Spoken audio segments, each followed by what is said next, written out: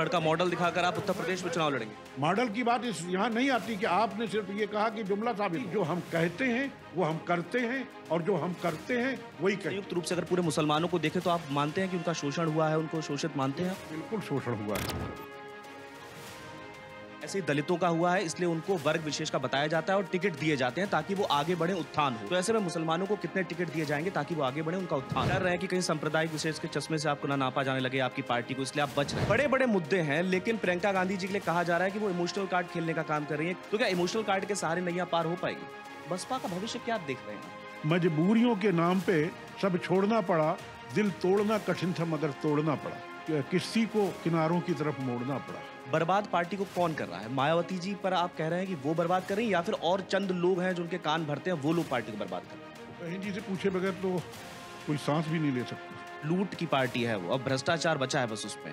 आपको नहीं पता है कैसे टिकट मिलते हैं जन्मदिन में क्या होता है नए साल में क्या होता है? भाई भाई बत्तीस साल देखा है मैंने अब रहने दीजिए हर चीज़ मत खुलवाइए कुछ ढक्का भी रहने दीजिए। गजाननम भूत गणाति सेवितम कपित जम्बू फल चारु बक्षणम उमा सुतम शोक विनाश कार्यक्रम, नमामि विघ्नेश्वर पाद पंकज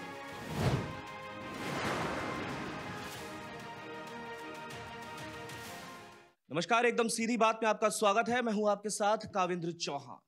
दर्शकों, उत्तर प्रदेश में चुनावी संखनाद हो चुका है। और ये चुनावी हलचल या यूँ कहूँ कि चुनावी जो दंगल है, वो तब तक बदस्तूर जारी रहेगा जब तक मतपेटियाँ नहीं खुल जाती। कौन सी पार्टी गर्दिश पे है, कौन सा नेता गर्दिश में है, किसके क्या बयानबाजी है, कौन किसके साथ गठबंधन कर रहा है, ये सब हाईलाइटेड मुद्दे हैं। लेकिन आज मैं लखनऊ में मौजूद हूँ। क्यों? क्योंकि दरअसल आज मैं कैसे पावरफुल नेता के साथ सीधी बात करने जा रहा हूँ, जिनके लिए कहा जाता है कि जब बहुजन समाज पार्टी की सरकार हुआ करती थी तो सारे फैसलों में अधिकांश फैसले उन्हीं के होते थे। उनके लिए कहा जाता है कि बहुजन समाज पार्टी की वो रीढ़ की हड्डी थे लेकिन अलगाव के बाद अब वो कांग्रेस पार्टी में कांग्रेस पार्टी के लिए कहा जाता है कि उत्तर प्रदेश में उनकी ज़मीन जो है दरख्ती सी नज़र आती थी लेकिन इस बार काफ़ी जोश में है कांग्रेस पार्टी। मैं सीधे पहुँचना चाहूँगा नसीमुद्दीन सिद्दीकी जी के पास जो कि कांग्रेस के वरिष्ठ नेता हैं। आपका बहुत बहुत स्वागत है हमारे कार्यक्रम धन्यवाद। मैं सबसे पहले नशीमुद्दीन जी आपसे ये जानना चाहूँगा कि इस वक्त आप कांग्रेस पार्टी को कहाँ देख रहे हैं? क्योंकि चुनिंदा महीने बचे हैं दो तीन महीने बचे हैं चुनाव में तो ऐसे में आज आप कांग्रेस पार्टी को कहाँ देख पा रहे हैं?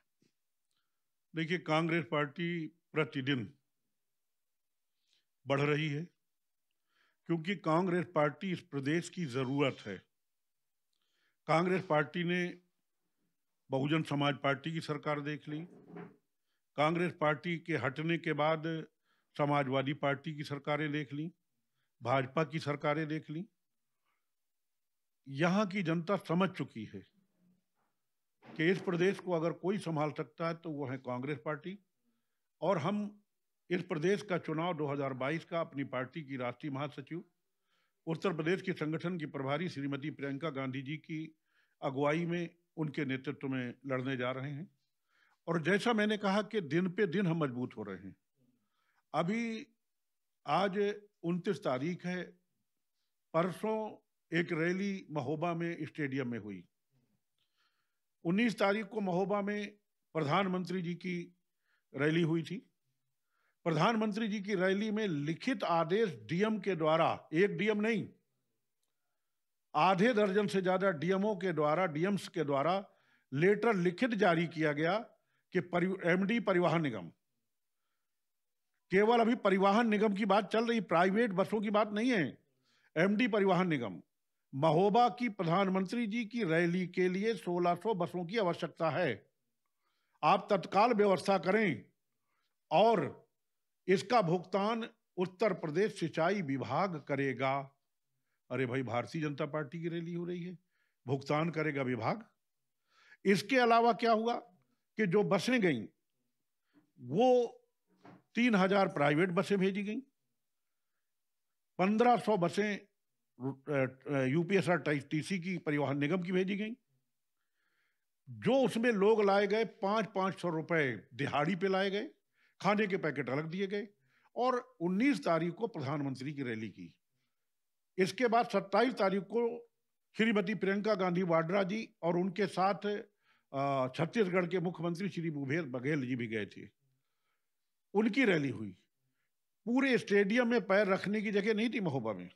और जितनी भीड़ स्टेडियम में थी, उससे दो गुना ज़्यादा स्टेडियम के बाहर थी। पूरी सड़क में कार्यक्रम स्थल से दस किलोमीटर उधर, दस किलोमीटर इधर सड़क पे लोग खड़े हुए थे क्योंकि अंदर जगह ही नहीं थी। इसको किस नज़रिए से देखा जाए। नसीमुद्दीन जी आपने महोबा की रैली का ज़िक्र किया। महोबा की रैली में प्रियंका गांधी जी ने अपने भाषण में एक बात कही। उन्होंने कहा कि जब हमारी सरकार अगर बनती है तो जो फॉर्म लोन जो है फार्म लोन जो है उनको हम वेव करेंगे। तो कैसे करेंगे? इसके लिए कोई ब्लूप्रिंट होगा या फिर ये चुनावी जुमला साबित होगा? कांग्रेस पार्टी कभी भी चुनावी जुमला का इस्तेमाल नहीं करती। छत्तीसगढ़ के मुख्यमंत्री जी ने जब अपना उद्घोषण शुरू किया वो बनारस में हमारी रैली हुई, वो रिकॉर्ड उसका कोई नहीं तोड़ पाया। हमारी रैली अभी पिछले दिनों गोरखपुर में हुई और ये महोबा में। तीनों जगह भूपेश बघेल जी, माननीय मुख्यमंत्री जी गए। उन्होंने कहा, जो हमने कहा था, वो किया। हमने कहा, हम किसानों का कर्ज माफ़ करेंगे। 24 घंटे के अंदर में हमने किसानों का कर्ज माफ़ कर दिया। हमने कहा था, हम किसानों को पच्चीस सौ रुपए कुंटल गेहूँ के और पच्चीस सौ रुपये कुंटल धान के रेट देंगे, वो हम दे रहे हैं।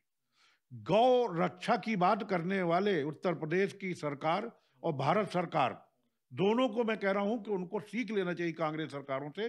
उन्होंने क्या किया कि गौ रक्षा की सुरक्षा के लिए भी, गौ की, गौ माता की सुरक्षा के लिए भी, और जो गौ पालक हैं, उनके लिए भी आज गायों को छोड़ दिया जाता है। छत्तीसगढ़ का मॉडल दिखा रहे हैं? छत्तीसगढ़ का मॉडल दिखाकर आप उत्तर प्रदेश में चुनाव लड़ेंगे। आपके सवाल का जवाब दे रहा हूँ। मॉडल की बात इस यहाँ नहीं आती कि आपने सिर्फ़ ये कहा कि जुमला साबित होगा। उसका जवाब मैं दे रहा हूँ कि हम जो कहते हैं वो करते हैं। वहाँ दो रुपए किलो गोबर गाय का गोबर खरीदा जाता है और उससे बिजली बनाई जाती है। हमारे कहने का कुल मिला के मतलब और भी तमाम प्रमाण है, मैं लंबी बात नहीं करना चाहता। हम उसको मॉडल बनाने की बात नहीं कर रहे हैं। हमारा यहाँ कहने का मतलब सिर्फ़ ये है कि जो कांग्रेस पार्टी कहती है, वो करती है। अभी लखीमपुर में मामला आया।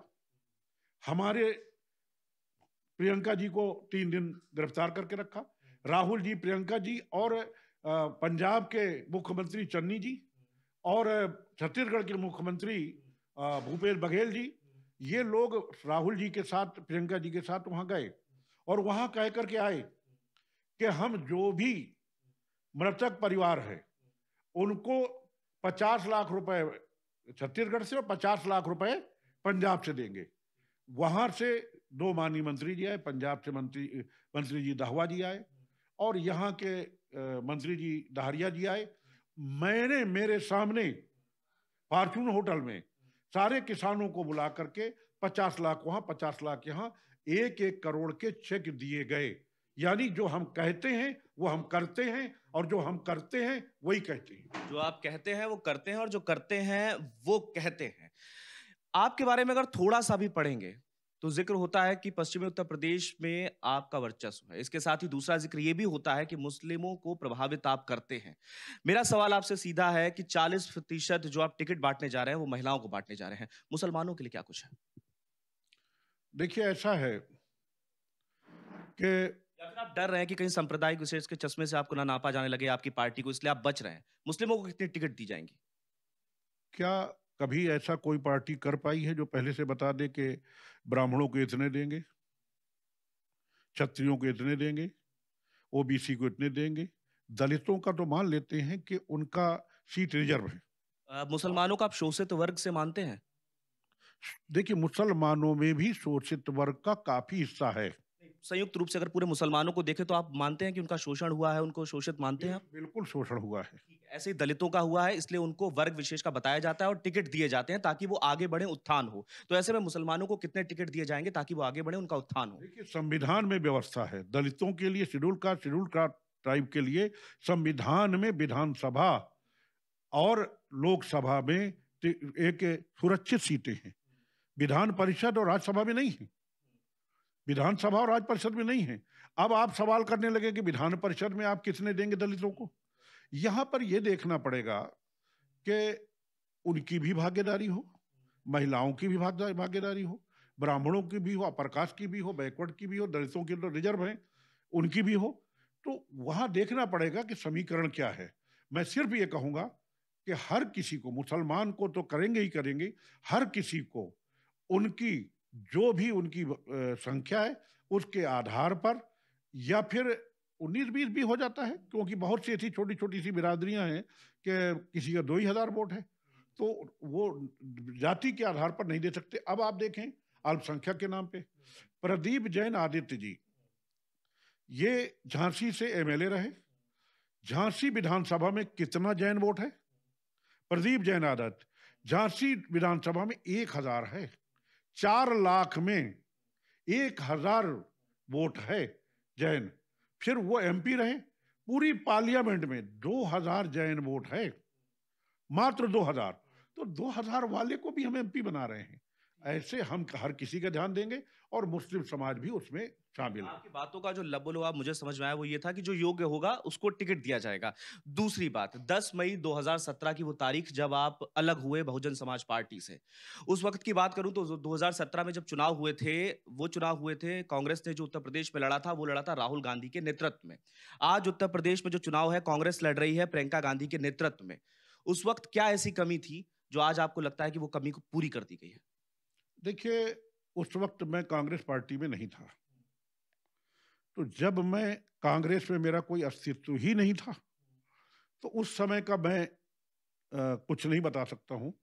मैं 22 फरवरी 2018 के बाद जो आप पूछेंगे मैं हर चीज़ का जवाब दूँगा। ठीक है आप कह रहे हैं कि जब मैं आया हूँ कांग्रेस में तब से जो सवाल आप पूछेंगे वो मैं जवाब दूँगा। ठीक है बड़े बड़े मुद्दे हैं, लेकिन प्रियंका गांधी जी के लिए कहा जा रहा है कि वो इमोशनल कार्ड खेलने का काम कर रही है। कहीं भी कोई घटना होती है तो वहाँ जाती हैं, मिलती हैं और ठीक है फ़ोटो सेशन होता है, ऐसे आरोप विपक्ष जो सरकार के लोग हैं वो भी लगा रहे हैं और बाकी जो आपकी और अलग पार्टियाँ हैं वो भी लगा रही हैं। तो क्या इमोशनल कार्ड के सहारे नैया पार हो पाएगी? अगर किसी जले हुए, कटे हुए के जख्म पे मरहम लगाना, उसकी मदद करना, जहाँ कोई अगर मर गया है, वहाँ जाकर के संवेदना व्यक्त करना इमोशनल कार्ड है तो ऐसे मानसिकता वाले लोगों को मैं ये कहूँगा कि उनको अपना इलाज कराना चाहिए। उनको उनको कोई मानसिक दिवालियापन की बीमारी तो नहीं हो गई। अरे, ये तो मानवता का तकाजा है, ये तो इंसानियत का तकाजा है, और ये धर्म का भी तकाजा है कि जो मुसीबत ज़्यादा लोग हैं, उनका दुख जा करके बांटिए, उनकी मदद कीजिए। हमारे यहाँ क्या है कि कोई भी हमारे यहाँ कभी भी आता है घर में, ये शास्त्रों की बात बता रहा हूँ मैं, कोई मेहमान अगर घर में आता है तो उसका हमेशा बढ़ चढ़कर सम्मान किया जाता है कि मेहमान आया हुआ है। लेकिन अगर जिस दिन किसी घर में गमी हो जाती है, किसी की मृत्यु हो जाती है और फिर मेहमान आता है तो मेहमान वो नहीं होता है, बल्कि मेहमान घर के लोगों के साथ वो सलूक करता है जैसा सलूक उसके साथ पहले होता रहा है। यानी घर का आदमी मुसीबत ज़्यादा है। उसकी मुसीबत बांटने के लिए मेहमान आया है वो अब उसके घर का कोई एक सदस्य गया है तो उस वो थोड़ी उनकी जाके खुशामद करेगा खूबसूरती से जवाब दिया आपने ये हाँ। ये ये एक परंपरा है ये भारतीय परंपरा है ये धार्मिक परंपरा है ये नैतिकता का तकाजा है कि हम ये करें और हम नैतिकता के आधार पे संविधान के आधार पे धर्म के आधार पे मानवता के आधार पे हमारी नेता ये कर रही हैं और जो ये कह रहे हैं तो उनको अपने दिमाग का इलाज कराना चाहिए। बहुत खूबसूरती से जवाब दिया आपने। मई का महीना 2017 वो साल। उस वक्त आप कांग्रेस में ज्वाइन हुए थे। कांग्रेस में जब ज्वाइन हुए थे, वो तस्वीरें आज, मेरे को आज भी याद हैं। गुलाम नबी आज़ाद साहब आपके बाजू में बैठे हुए थे। आपने जो पहली लाइन कही, आपने कहा कि बहुजन समाज पार्टी में मैं जा रहा हूँ। तो सब लोगों ने आपको टोका। फिर आपने कहा क्योंकि बहुजन समाज पार्टी से मेरा चौंतीस सालों का नाता रहा है और मैं चौंतीस सालों से बसपा बसपा कहता आ रहा हूँ, इसलिए आज टंग स्लिप हुई और बसपा ही निकला। अब बसपा का ज़िक्र है तो मैं एक सवाल करना चाहता हूँ कि बसपा के लिए लोग कह रहे हैं कि धीरे धीरे ग्राफ इतना गिर चुका है कि अस्तित्व में ही नहीं है बसपा। बसपा का भविष्य क्या देख रहे हैं आप? देखिए, टंग स्लिप तो आपकी हो गई अभी। आपने 2017 कहा कि मैंने ज्वाइन किया। मैंने 2017 में ज्वाइन नहीं किया। मैंने 22 फरवरी 2018 में ज्वाइन किया। तो टंग स्लिप तो किसी की भी हो सकती है। टंग तो आपकी भी स्लिप हो गई अभी। और उस समय की बात उस समय हो गई। और मैंने उस समय भी कहा था कि जिस बसपा को बनाने में हमने बचपन से, अब साठ साल के ऊपर हो गए। तो बूढ़ा तो मैं अपने आप को नहीं कहूँगा, लेकिन काफ़ी उम्र मेरी गुजर गई। मैंने बहुत सी कुर्बानियाँ दी। तो वहाँ से क्या है कि उसमें बहुत कुर्बानियाँ दी। और मैंने उसके बाद भी कहा था बसपा से हटने के नाम पे कि मजबूरियों के नाम पे सब छोड़ना पड़ा। मजबूरियों के नाम पे सब छोड़ना पड़ा, दिल तोड़ना कठिन था, मगर तोड़ना पड़ा। तूफ़ान पे लिखे थे मेरे दोस्तों के नाम। दोस्त समझ रहे किसको कह रहा हूँ? बसपाइयों को कह रहा हूँ, बसपा नेता को कह रहा हूँ। तूफ़ान पे लिखे थे मेरे दोस्तों के नाम किस्सों किस्सी को किनारों की तरफ़ मोड़ना पड़ा। यानी अपनी किस्सी को किनारे की तरफ़ मोड़ कर ला करके मैं कांग्रेस में ज्वाइन हो गया। अब मैंने जो कहा कि मजबूरियों के नाम पे सब छोड़ना पड़ा, मजबूरी यही है कि ऐसे काम किए जा रहे हैं कि पार्टी दिन पे दिन दिन पे दिन दिन पे दिन गर्त में जा रही है, बर्बाद किया जा रहा है, पार्टी को मिटाया जा रहा है, लूट मची हुई है, भ्रष्टाचार का बोलबाला है तो अब ऐसी पार्टी क्या नाम की रहेगी नाम की है नहीं होगा तो भाजपा से आ, उनकी बात हो ही गई है गठबंधन उनका अंदरूनी है बड़ा आरोप लगा रहे हैं आप ये। मैं जो कह रहा हूँ बिना सोचे समझे नहीं कह रहा हूँ। भारतीय जनता पार्टी से उनकी बात हो गई है। देखो कि माफ़ कीजिएगा जितना बहन जी को मैं जानता हूँ शायद बहन जी भी अपने आप को नहीं जानती। बिना सोचे समझे नहीं कह रहा हूँ। उनकी भारतीय जनता पार्टी से बात लगभग तय है। चुनाव के बाद क्या करना है आप भी देखेंगे हम भी देखेंगे। आपने दो शब्दों का ज़िक्र किया। आपने ज़िक्र किया एक लूट शब्द का और आपने कहा पार्टी को बर्बाद। बर्बाद पार्टी को कौन कर रहा है? मायावती जी पर आप कह रहे हैं कि वो बर्बाद कर रही हैं या फिर और चंद लोग हैं जो उनके कान भरते हैं वो लोग पार्टी को बर्बाद कर रहे हैं? बहन जी से पूछे बगैर तो कोई सांस भी नहीं ले सकता। बसपा में? जी। बहुजन समाज पार्टी में? जी। ठीक है दूसरा सवाल आपने कहा लूट की पार्टी है वो अब भ्रष्टाचार बचा है बस उसमें। इसको थोड़ा सा क्लैरिफाई करिए क्या आपको नहीं पता है कैसे टिकट मिलते हैं जन्मदिन में क्या होता है नए साल में क्या होता है? भाई भाई बत्तीस साल देखा है मैंने अब रहने दीजिए हर चीज़ मत खुलवाइए कुछ ढक्का भी रहने दीजिए। चलिए ठीक है आप कह रहे हैं कि कुछ पर्देदारी भी रहनी चाहिए। बीजेपी कहीं ना कहीं बैकफुट पर जा रही थी, जो कृषि कानून को लेकर जो किसान आंदोलन चल रहा है, उसके सिलसिले में। लेकिन आखिरी वक्त पर कहा जा रहा है कि मास्टर स्ट्रोक खेल दिया और कृषि कानूनों को वापस ले लिया। क्या आप समझ रहे हैं कि पश्चिमी उत्तर प्रदेश में जो वोटर कहीं ना कहीं छिटका नज़र आ रहा था, वो एक बार फिर से क्योंकि कृषि कानून वापस ले गया तो बीजेपी के साथ आएगा? इसमें आपको सर्वे कराना चाहिए। मैंने खुद सर्वे करा लिया है। पश्चिम उत्तर प्रदेश में मैं छोटा से बचपन से बढ़ा बड़ा हुआ हूँ। वहीं पढ़ा लिखा हूँ, वही नौकरी की है। रहने वाला मैं बांद्रा डिस्ट्रिक्ट का हूँ मैं, बुंदेलखंड का। हालाँकि मैंने 403 विधानसभा सीट कोई ऐसी नहीं जहाँ पे मैंने काम नहीं किया है। उत्तराखंड में काम किया, दिल्ली में काम किया, बिहार में काम किया। मैंने बत्तीस चौंतीस साल सिर्फ़ गाँव देहात में, पोलिंग बूथ में रह करके ज़मीन पे मैंने काम किया है। तो भारतीय जनता पार्टी की जो आपने कहा तो आपको इसका सर्वे करा लेना चाहिए। सात सौ लोगों को मरवा करके उनकी महिलाओं, उनकी पत्नियों को बेवा करके, उनके बच्चों को यतीम करके, उनकी माओ की रोते रोते आँख की रोशनी लेकर के, कौन सी राजनीति कर रहे हो भाई? कौन जवाब देगा भाई? आपने 700 लोगों को 11 महीने के बाद आप फैसला ले रहे हो, और आप कह रहे हो, मेरी तपस्या में कोई कमी रह गई होगी। यानी अभी कोई तपस्या कर रहे थे, उसमें कमी रह गई। कमी तो जब ही रहती है ना, जब कोई चीज़ किया आपने, अभी तक आप तपस्या कर रहे थे। क्या तपस्या कर रहे थे? किसानों को कह रहे थे कि आंदोलन जीवी हैं, ये खालिस्तानी हैं, ये उग्रवादी हैं, ये किसान नहीं हैं, प्रायोजित लोग हैं। उनके रास्ते में जब वो आगे बढ़े तो आपने रास्ते में कीले गड़वा दी, उनके ऊपर आँसू गैस के गोले छोड़े, उनके ऊपर पानी की बौछारें मारी, उनको गोली चलाई उनके उसमें। सात सौ किसान मर गए और सात सौ किसान के परिवार में कितने लोग होंगे? हज़ारों लोग आज बदुआएँ दे रहे हैं। आप कह रहे हैं कि उन्होंने संभाल लिया? 2022 और 2024 दोनों में समझ लीजिएगा, देख लीजिएगा। 2022-2024 में जनता जवाब दे देगी बीजेपी को। आपने सर्वे का ज़िक्र कर दिया। सर्वे की बात करूँ तो एक सर्वे हमने भी करवाया और जानने की कोशिश की कि कांग्रेस किसके साथ आए तो कितना फ़ायदा हो सकता है? क्योंकि तमाम गठबंधनों को जो अटकलें उस पर हम बातचीत कर रहे हैं। आरएलडी की बात कर रहा हूँ मैं, राष्ट्रीय लोकदल राष्ट्रीय लोकदल समाजवादी पार्टी के साथ है। लेकिन अगर हमने सर्वे में ये चीज़ समझी कि अगर वो आपके साथ आ जाता तो आप एक मज़बूत थर्ड फ्रंट बना सकते थे। आप बहुत मज़बूत हो सकते थे, अगर आरएलडी आपके साथ आ जाता तो। तो आरएलडी के साथ आपकी कोई बातचीत हुई है? देखिए, इस संबंध में मुझे पता नहीं है। और आरएलडी अगर इच्छुक है तो उसको बात रखना चाहिए, निर्णय हमारे नेता लेंगे।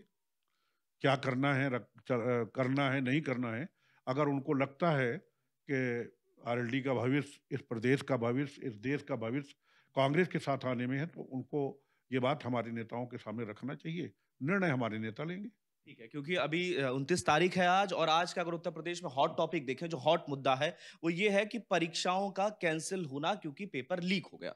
और ऐसा पहली बार नहीं हुआ। लोग कह रहे हैं कि सालों से देख रहे हैं कि परीक्षाएँ लीक हो जाती हैं, छात्र आता है, सड़कों पर सोता है, सुबह उठता है, पता चलता है परीक्षा लीक हो गई और विपक्ष, आप भी आरोप लगा रहे हैं कि ये सरकार तो दरअसल एक परीक्षा भी ठीक से नहीं करा सकती। लेकिन योगी आदित्यनाथ ने कहा है कि परीक्षा लीक, पेपर लीक हमारी सरकार में नहीं, ये हमेशा से होता आ रहा है। लेकिन हमारी सरकार में जो अलग हुआ है वो ये कि जिन्होंने पेपर लीक करवाए, उनको तुरंत पकड़ा गया, गिरफ़्तार किया गया और उन पर अब रासुका के तहत भी कार्रवाई की जाएगी। मैं तो इस पर सिर्फ़ ये कहूँगा कि उन्होंने ये कहा कि दूसरी सरकारों में होता रहा। मैं चाहूँगा कि पिछले दस पंद्रह साल को छोड़ दें, कांग्रेस की सरकारों में कितने पेपर लीक हुए और आपकी सरकार में कितने पेपर लीक कराए गए। अट्ठारह बार पेपर लीक आउट हुए, लीक कराए गए। ये कराए गए हैं। ये सरकार की मिली भगत से हुआ है। जो सामने आ गया। अभी कितने पेपर इतने लीक हुए हैं जो कि सार्वजनिक नहीं हो पाया। ये तो अठारह बार के हैं। लेकिन इससे पहले इसके बीच में कितने और हो चुके हैं जिसकी कोई सीमा ही नहीं। हर एक पेपर लीक करा दिया जाता है सरकार की ओर से और खुलते कम हैं। जो खुल गए तो सामने आ गए, वरना तो चोरी कहाँ पकड़ी गई? नसीमुद्दीन साहब, मुझे नहीं पता कि कितना कठिन सवाल ये आपके लिए हो सकता है, लेकिन जब हम ज़मीन पर उतरते हैं, जब ज़मीन पर देखते हैं तो हम जानना चाहते हैं कि कांग्रेस दरअसल इतनी बड़ी पार्टी होकर तीन दशक हो गए, सत्ता में क्यों नहीं आ रही उत्तर प्रदेश में? तो लोग हमको जो बताते हैं, वो आपको मैं बता रहा हूँ सीधे। लोग कहते हैं कि जो 2011 12 13 का जो दौर था और जब केंद्र में सत्ता में कांग्रेस थी, तब दरअसल लोगों के माइंड में एक चीज़ बैठा दी गई। कि देखिए two G scam, C G scam, ये स्कैम, वो स्कैम तो ये स्कैम वाली पार्टी है। दूसरी चीज़ जो लोगों के मन में बैठाई गई वो ये कि राहुल गांधी दरअसल राजनीति के लिए नहीं बने हैं और राहुल गांधी के नेतृत्व में कांग्रेस कमज़ोर होती जा रही है। इसको आप कहाँ तक समझ रहे हैं? ये जो माइंडसेट जो लोगों के अंदर बैठाया गया देखिए, ये तो मोदी मीडिया का दुष्प्रचार है। आपने का कमज़ोर होती गई। ये रिकॉर्ड गवाह है। कि उन्नीस से उन्नीस तक भारतीय जनता पार्टी के पूरे देश में दो एमपी होते थे। इतनी बुरी हालत तो हमारी नहीं है। आज हमारे कितने एमपी हैं देश में? दो एमपी होते थे, ये रिकॉर्ड गवाह है। यानी दो एमपी वाली तीन साढ़े तीन सौ में पहुँच सकती है। दो एमपी वाली सरकार साढ़े तीन सौ में इसलिए पहुँची क्योंकि उनके पास राम मंदिर एक बहुत बड़ा हॉट टॉपिक था। आपके पास ऐसा कौन सा कार्ड है? हमारे पास मानवता का कार्ड है हमारे पास राम का कार्ड है हमारे पास अल्लाह का कार्ड है हमारे पास ईसा मसीह का कार्ड है हमारे पास पंच प्यारे जो हैं गुरु नानक जी हैं गुरु गोविंद सिंह जी हमारे पास हर कार्ड है। हम जातीयता पे राजनीति नहीं करते। और जहाँ तक मेरा सवाल है, हर मामले को ये घुमा करके ले जाते हैं हिंदू मुस्लिम में? हर मामले को घुमा के ले जाते हैं मंदिर मस्जिद में? कमाल हो गया। मेरा जहाँ तक सवाल है तो मेरा ये मानना है कि अगर मुझे अपना सम्मान कराना है तो मुझे बाकी सामने वाले सभी लोगों का सम्मान करना पड़ेगा। और मुझे अगर अपने धर्म का सम्मान कराना है तो मुझे सारे धर्म धर्मों का आपके धर्म का सम्मान करना पड़ेगा। और मैं आपके धर्म का सम्मान करता हूँ बाकी धर्मों का सम्मान करता हूँ। आपका व्यक्तिगत है कि पार्टी का? व्यक्तिगत मानिए या पार्टी का मानिए मैं व्यक्तिगत बोल रहा हूँ। मैं हर धर्म का सम्मान करता हूँ। जहाँ एक तरफ़ मैं कोई भी शुभ काम करता हूँ तो मैं पढ़ता हूँ कि आउज बिल्ला मिन शैतवान रजीम बिस्मिल्ला रहमान रहीम। तो दूसरी तरफ़ श्री गणेश किया जाता है। श्री गणेश क्या है? गणेश वंदना। गणेश वदना क्या है? गजानन गजानन भूत गणाति सेवितम कपित जम्बू फल चारु बक्षणम उमा सुतम शोक विनाश कार्यक्रम, नमामि विघ्नेश्वर पाद पंकजम। कहाँ से बात कर रहे हो आप? जितना सम्मान मैं अपने धर्म करता हूँ उतना सम्मान मैं हिंदू धर्म करता हूँ उतना मैं क्रिश्चियन का करता हूँ उतना मैं सारे धर्मों का करता हूँ। बीजेपी कह रही है क्योंकि दरअसल दूसरी पार्टियाँ देख रही हैं कि बीजेपी को हिंदू वोट बहुत ज़्यादा मिल रहा है बड़ी संख्या मिल रहा है। इसी को देखते हुए जितना विपक्ष की पार्टियाँ उन सभी ने हिंदुओं को केंद्र बिंदु बना दिया है। क्या हिंदू उनके नाम बिका हुआ है क्या? हर कोई आज़ाद है। अपनी स्वतंत्रता के लिए, अपने फैसला के लिए संविधान में अधिकार मिला हुआ है। आ, उनके कह देने से कुछ नहीं होता है। सिद्दीकी साहब, मेरा आखिरी सवाल आपसे ये है कि कांग्रेस की आगे की रणनीति अब क्या रहेगी? कुछ महीने बचे हैं। ऐसे में अब क्या कुछ नया होने जा रहा है? क्योंकि तमाम जो पार्टियाँ हैं, वो या तो गठबंधन करके चर्चा में हैं, या तो कोई बड़ी रैली करके चर्चा में है, या तो फिर कुछ ऐसा ट्रंप कार्ड खेल कर चर्चा में है। लेकिन आप ऐसा कोई ट्रंप कार्ड है जिसको जल्दी ही खेलने जा रहे हैं? क्या कुछ सरप्राइज़ आने वाला है? इस बात को आप कहें या ना कहें, आपने कहा कुछ महीनों पहले से दूसरी पार्टियों ने ये किया ये किया। आप अपने दिल में जवाब दीजिएगा और जो भी दर्शक इसको सुन रहे हैं वो अपने दिल में जवाब दे लें। क्या कांग्रेस पार्टी ने कुछ महीनों पहले जो थी, आज कुछ गेन किया या नहीं? अगर गेन किया है तो कांग्रेस पार्टी उसकी दुगनी ताकत से गेन करने जा रही है। हम अपनी रणनीति को डिस्क्लोज नहीं करेंगे, क्योंकि हम अपनी रणनीति को डिस्क्लोज कर देंगे तो आपके चैनल में देख करके हमारे विरोधी उसका फ़ायदा उठा लेंगे। हम सिर्फ़ एक बात ये कहेंगे कि 2022 की सरकार कांग्रेस बनाने जा रही है उत्तर प्रदेश में। सिद्दीकी साहब ने बड़ी खूबसूरती के साथ जवाब दिया। सिद्दीकी साहब ने कहा कि रणनीति जो फाइनल रहेगी, उसको हम डिस्क्लोज नहीं करेंगे, क्योंकि और जो पार्टियाँ हैं, वो कहीं ना कहीं हमारी रणनीति को भी चुरा सकती है। बड़ी खूबसूरती के साथ जवाब देने के लिए नसीमुद्दीन साहब, आपका बहुत बहुत शुक्रिया। ये न्यूज़ वर्ल्ड इंडिया का कार्यक्रम था, खास कार्यक्रम था। पावरफुल नेता थे, जिनसे हमारी बातचीत हुई और सब कुछ जानने की कोशिश की। माहौल क्या चल रहा है, उसको भी जानने की कोशिश की। बाकी देश और दुनिया की तमाम बड़ी खबरों को देखने के लिए आप बने रहिएगा न्यूज़ वर्ल्ड इंडिया के साथ। धन्यवाद। छत्तीसगढ़ का मॉडल दिखा रहा है। छत्तीसगढ़ का मॉडल दिखाकर आप उत्तर प्रदेश में चुनाव लड़ेंगे। मॉडल की बात इस यहाँ नहीं आती कि आपने सिर्फ़ ये कहा कि जुमला साबित जो हम कहते हैं वो हम करते हैं और जो हम करते हैं वही संयुक्त रूप से अगर पूरे मुसलमानों को देखें तो आप मानते हैं कि उनका शोषण हुआ है उनको शोषित मानते हैं बिल्कुल शोषण हुआ है। ऐसे दलितों का हुआ है, इसलिए उनको वर्ग विशेष का बताया जाता है और टिकट दिए जाते हैं ताकि वो आगे बढ़े, उत्थान हो। तो ऐसे में मुसलमानों को कितने टिकट दिए जाएँगे ताकि वो आगे बढ़े, उनका उत्थान कर रहे हैं कि कहीं सांप्रदायिक विशेष के चश्मे से आपको ना नापा जाने लगे, आपकी पार्टी को, इसलिए आप बच रहे बड़े बड़े मुद्दे हैं, लेकिन प्रियंका गांधी जी के लिए कहा जा रहा है कि वो इमोशनल कार्ड खेलने का काम कर रही है। तो क्या इमोशनल कार्ड के सहारे नैया पार हो पाएगी? बसपा का भविष्य क्या आप देख रहे हैं? मजबूरियों के नाम पे सब छोड़ना पड़ा, दिल तोड़ना कठिन था, मगर तोड़ना पड़ा। किसी को किनारों की तरफ़ मोड़ना पड़ा। बर्बाद पार्टी को कौन कर रहा है? मायावती जी पर आप कह रहे हैं कि वो बर्बाद कर रही हैं या फिर और चंद लोग हैं जो उनके कान भरते हैं वो लोग पार्टी को बर्बाद कर? रहे हैं जी से पूछे बगैर तो कोई सांस भी नहीं ले सकते। लूट की पार्टी है वो अब भ्रष्टाचार बचा है बस उसमें आपको नहीं पता है कैसे टिकट मिलते हैं? जन्मदिन में क्या होता है? नए साल में क्या होता है? भाई भाई बत्तीस साल देखा है मैंने अब रहने दीजिए। हर चीज़ मत खुलवाइए कुछ ढक्का भी रहने दीजिए। गजानन भूत गणाति सेवितम कपित जम्बू फल चारु बक्षणम उमा सुतम शोक विनाश कार्यक्रम नमामि विघ्नेश्वर पाद पंकज